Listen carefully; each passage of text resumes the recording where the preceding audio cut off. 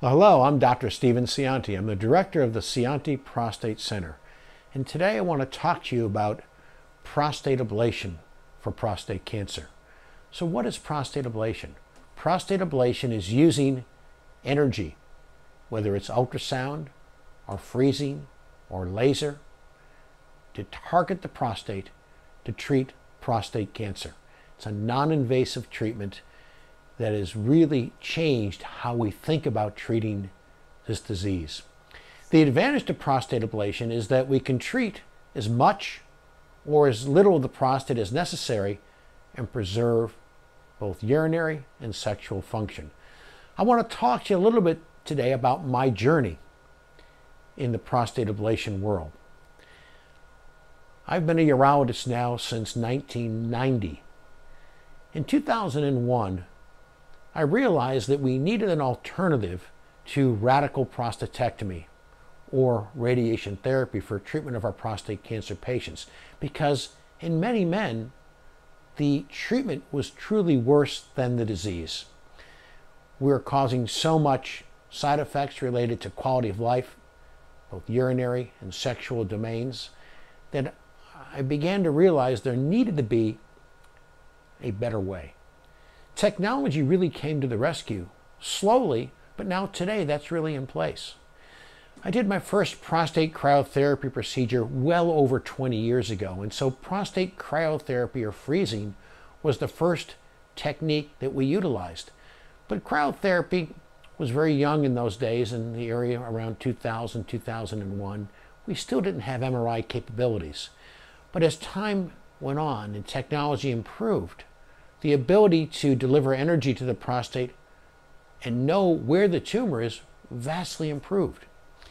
In 2005, I was introduced to high intensity focused ultrasound, or HIFU, and I immediately realized that in selected patients, HIFU would offer an ability to deliver even more precisely targeted treatment to the prostate.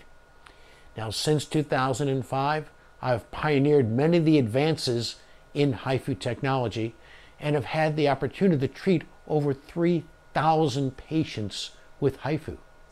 Literally over 10,000 hours behind the HIFU console screen. That experience has taught me in a properly, carefully done, very technologically uh, advanced manner using MRI to guide the treatment, I can achieve for my patients excellent cancer control with excellent ability to preserve both sexual and urinary function. But that has taken years and years to develop. Tulsa is the newest kid on the block. This technology has been out in the United States about three years, but I've been able to apply the experience gained through cryotherapy, HIFU, now to Tulsa technology. And in selected patients, Tulsa is a great option for targeted therapy for prostate cancer. So 20 years ago, when I began offering prostate cancer ablation treatment to my patients, it was really considered to be outside of the mainstream. Today, that's different.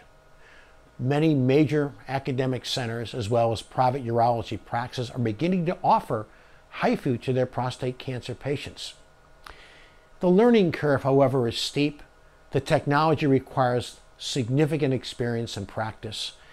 And really, to get the kind of results that we're able to achieve, it really does take hundreds of procedures. You know, I often think back to another uh, situation where that experience really paid off uh, for people. If you think back to that flight, that airplane that took off from an airport in New York, and ended up landing on the Hudson River. Do you remember that? That was Captain Sullenberger. It was a U.S. Air flight. It left LaGuardia. There was a bird strike at 3,000 feet. He lost both engines. And the plane was able to successfully just clear the George Washington Bridge and land in the Hudson River on a cold day in January. Miraculously, everybody survived. Interestingly, when they tried to recreate that in a flight simulator, it took 17 or 18 attempts before other pilots could successfully land that plane on the simulator. Why was Captain Sully able to do that? Well, he was at the peak of his career. He had had thousands and thousands and thousands of hours behind that console in the, in the jet, behind in that cockpit. He was able to rely on years and years and years of experience in order to get that plane to safely land. Complex medical procedures really aren't any different today. We're using significant and very complex technology.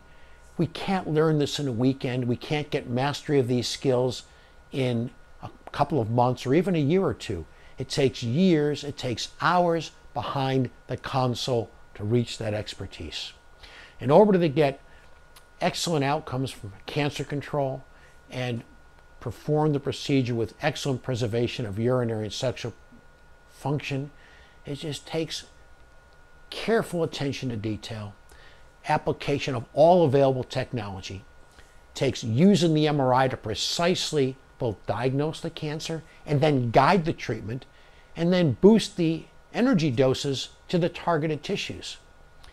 That's what I've learned over all these years. So it's gratifying and rewarding to see that there's much more acceptance of this technology around the United States today. However, my caution to you as a patient is that you have to be very careful with new technology and even very well-known universities offering these techniques. Usually the urologist offering that is doing many, many things for prostate cancer as well as practicing a lot of general urology. They're really not devoted specialists to these techniques. And in a training center, unfortunately, the mission in a training center is to train our young doctors. Now, I was there at one point when I was on the faculty at NYU. One of my requirements, one of the goals of an educational institution is to train the young doctors. However, if you're the patient, you want to be treated by the most experienced physician you can find, and you want that doctor to perform your procedure. At the Scionti Prostate Center, I am your doctor. I design your treatment. I have a personalized discussion with you to plan your treatment in detail. And then I'm the one that will perform your treatment, not an assistant, not a trainee, and not a student. So why choose the Scionti Prostate Center? You're going to choose me to be your doctor for treatment of your prostate cancer because I've got more experience with these ablative technologies particularly with HIFU, with over 10,000 hours behind the console of that HIFU machine. So experience matters. I'm going to use the most up-to-date technology to do your procedure. I'm going to use MRI mapping. I'm going to modulate the energy.